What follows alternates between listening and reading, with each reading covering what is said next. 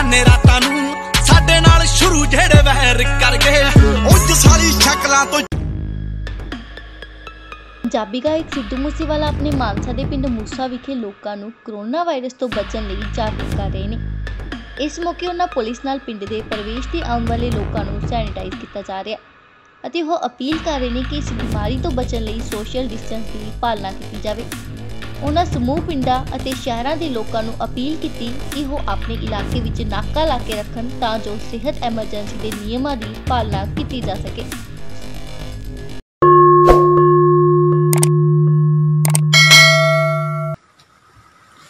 ਹਾਂਜੀ, ਪਿਆਰ ਭਾਈ, ਸਤਿ ਸ਼੍ਰੀ ਅਕਾਲ ਜੀ। ਮੈਂ ਤੁਹਾਡਾ ਆਪਣਾ ਸਿੱਧੂ ਮੂਸੇਵਾਲਾ ਤੇ ਅੱਜ ਅਸੀਂ ਪਹੁੰਚੇ ਹੋਏ ਆ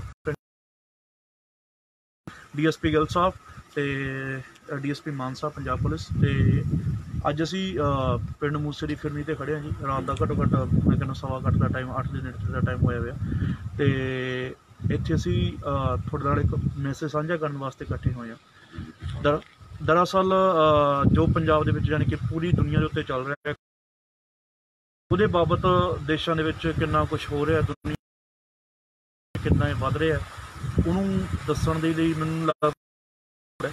ਤੇ ਉਹਦੇ ਬਾਬਤ ਆਪਣੇ ਇੰਡੀਆ ਦੇ ਵਿੱਚ ਕੀ ਚੱਲ ਰਿਹਾ ਹੈ ਨਾ ਤੇ ਕਿੱਦਾਂ ਦੀ ਕਿੱਦਾਂ ਦਾ ਸਿਸਟਮ ਲਾਗੂ ਹੋ ਰਿਹਾ ਹੈ, ਕਿੱਦਾਂ ਰੂਲ ਐਂਡ ਰੈਗੂਲੇਸ਼ਨ ਚੱਲ ਰਿਹਾ ਹੈ, ਮੈਂ ਤੁਹਾਡੇ ਲਈ ਛੋਟਾ ਜਿਹਾ ਚਾਨਣਾ ਪਾਉਣਾ। ਤੇ ਪਹਿਲਾਂ ਤੁਹਾਨੂੰ ਮੈਂ ਉਹਨਾਂ ਬਾਰੇ ਗਿਆਨ ਦਊਂਗਾ ਤੇ ਉਸ ਤੋਂ ਬਾਅਦ ਥੋੜਾ ਬਹੁਤ ਜਾਣੀ ਕਿ ਜਿਹੜੀ ਚੀਜ਼ ਲਈ ਅੱਜ ਇਕੱਠੇ ਹੋਏ ਆ ਸਾਰੇ ਯਾਨੀ ਕਿ ਕਰੋਨਾ ਵਾਇਰਸ ਦੇ ਲੱਛਣਾਂ ਤੋਂ ਆਪਾਂ ਜਾਣਦੇ ਹਾਂ, ਠੀਕ ਹੈ ਜੀ। ਤੇ ਆਪਾਂ ਇਹਦੇ ਤੋਂ ਕੀ ਕੀ ਯਾਨੀ ਕਿ ਆਪਾਂ ਇਹ ਤੋਂ ਪ੍ਰੀਕਾਸ਼ਨਸ ਲੈਣੀਆਂ, ਇਹਨਾਂ ਇਹਨਾਂ ਬਾਰੇ ਵੀ ਤੁਹਾਨੂੰ ਦੱਸਣ ਦੀ ਲੋੜ ਨਹੀਂ। ਦੂਜੀ ਗੱਲ ਆਈਸੋਲੇਸ਼ਨ ਕੀਤੀ ਗਈ ਹੈ ਨਾ ਜੀ। ਆਈਸੋਲੇਸ਼ਨ ਮਤਲਬ ਇਹ ਹੈ ਵੀ ਆਪਾਂ ਪਿੰਡੋਂ ਪਿੰਡ ਯਾਨੀ ਕਿ ਇੱਕ ਪ੍ਰਬੰਧ ਕਰ ਰਹੇ ਹਾਂ ਆਪਣੇ ਲੈਵਲ ਤੇ ਹਨਾ।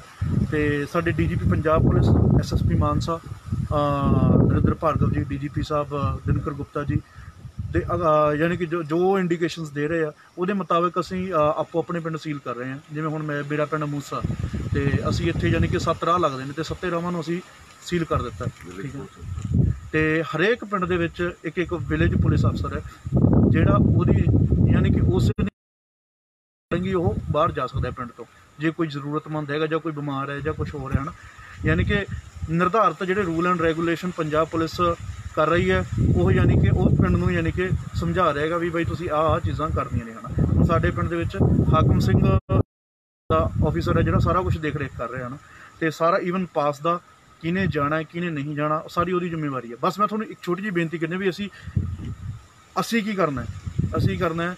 ਵੀ ਜੋ ਹੁਣ ਸਾਰਿਆਂ ਨੂੰ ਪਤਾ ਵੀ ਥੋੜਾ ਜਿਹਾ ਔਖਾ ਟਾਈਮ ਚੱਲ ਰਿਹਾ ਹੈ ਨਾ ਸਾਰਿਆਂ ਤੇ ਹੀ ਹਨਾ, ਤਾਂ ਕੀ ਕਰਨਾ ਆਪਾਂ ਜੋ ਆਪਣੇ ਲਈ ਸੜਕਾਂ ਦੇ ਤੁਰੇ ਫਿਰਦੇ ਆ ਲੋਕ ਹਨਾ, ਸਾਡਾ ਪੰਜਾਬ ਪੁਲਿਸ ਮਹਿਕਮਾ ਡਾਕਟਰ ਪੇਸ਼ੇ, ਜਿੰਨੇ ਵੀ ਜਿੰਨੇ ਵੀ ਡਾਕਟਰਸ ਨੇ ਹਨਾ, ਆਪਾਂ ਉਹਨਾਂ ਨੂੰ ਸਪੋਰਟ ਕਰੀਏ। ਸਪੋਰਟ ਆਪਾਂ ਕਿਵੇਂ ਕਰ ਸਕਦੇ ਹਾਂ? ਜਿੰਨੇ ਵੀ ਰੂਲ ਐਂਡ ਰੈਗੂਲੇਸ਼ਨ ਹੈ, ਉਹਨਾਂ ਨੂੰ ਇੰਡੀਕੇਸ਼ਨ ਯਾਨੀ ਕਿ ਜੋ ਵੀ ਇੰਡੀਕੇਸ਼ਨ ਸਾਨੂੰ ਦਿੱਤਾ ਜਾ ਰਿਹਾ, ਉਹਨੂੰ ਅਸੀਂ ਫੋਲੋ ਕਰੀਏ ਹਨਾ। ਹੁਣ ਸਾਡੇ ਪਿੰਡ ਵਿੱਚ ਅਸੀਂ ਕੀ ਕੀਤਾ?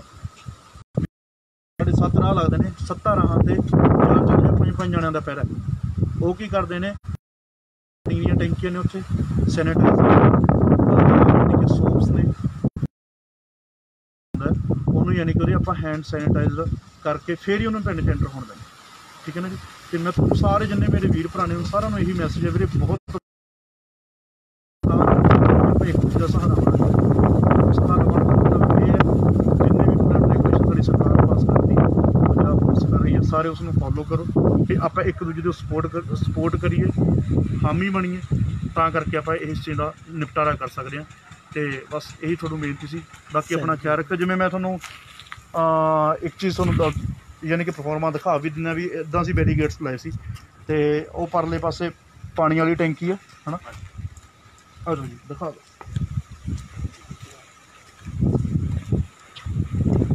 ਯਾਨੀ ਕਿ ਕੋਈ ਵੀ ਬੰਦਾ ਪਿੰਡ ਚ ਐਂਟਰ ਹੋਊਗਾ ਇੱਥੋਂ ਪਹਿਲਾਂ ਇੱਥੇ ਰੁਕੂਗਾ, ਠੀਕ ਹੈ ਨਾ? ਇੱਥੋਂ ਪਾਣੀ ਵਾਲੀ ਟੈਂਕੀ ਆ, ਨਾਲ ਹੈਗਾ ਹੱਥ ਵੀ ਆਪਾਂ ਐਦਾਂ ਹਰੇਕ ਪਿੰਡ ਦੇ ਵਿੱਚ ਹਰੇਕ ਰਾਹਾਂ ਤੇ ਰਸਤਿਆਂ ਦੇ ਆਪਾਂ ਲਾ ਸਕਦੇ ਹਾਂ।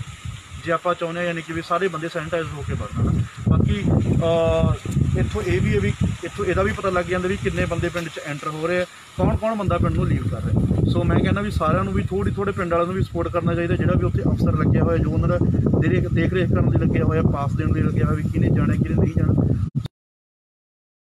ਵੀ ਸਾਰੇ ਕੋਸ਼ਿਸ਼ ਕਰੋ ਵੀ ਸਾਰੇ ਪਿੰਡ ਦੇ ਜਿੰਨੇ ਆਸੇ-ਪਾਸੇ ਰਸ ਲੱਗੇ, ਆਪਣਾ ਪਿੰਡ ਬਸ ਇਹੀ ਬੇਨਤੀ ਸੀਗੀ। ਬਾਕੀ ਪਰਮਾਤਮਾ ਅੱਗੇ ਦੁਆ ਕਰਦਾ ਤੁਸੀਂ ਸਾਰੇ ਚੰਗੇ ਭਲੇ ਜਾਂ ਠੀਕ ਠਾਕ ਜੋ ਇਸ ਚੀਜ਼ ਲਈ ਲੜ ਰਹੀਆਂ ਨੇ ਤੇ ਰੂਲ ਐਂਡ ਰੈਗੂਲੇਸ਼ਨ ਅਪਲਾਈ ਕਰ ਰਹੀਆਂ ਤੇ ਉਹਨੂੰ ਫੋਲੋ ਕਰੋ। ਸਤਿ ਸ਼੍ਰੀ ਅਕਾਲ